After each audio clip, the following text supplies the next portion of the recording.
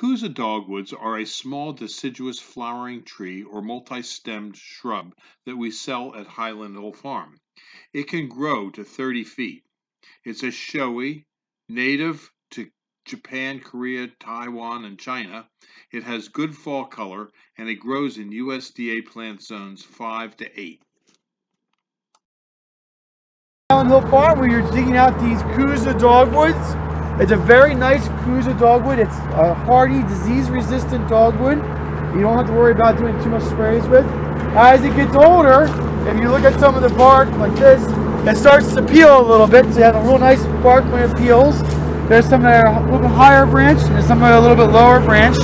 But it's a nice dogwood. It has white flowers, red berries, with a simple green leaf during the growing season. Very nice understory dogwood that gets probably about 20 to 25 feet tall. Maybe in some circumstances you have good soils, may get a little bit taller than that. But in this area it's about 25 feet we should be counting on.